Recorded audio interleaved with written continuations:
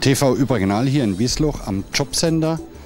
Hier sind Scheiben eingeworfen worden und Polizei, Feuerwehr ist vor Ort, um natürlich die beschädigten Scheiben gegen weitere Einbruchsmöglichkeiten zu schützen.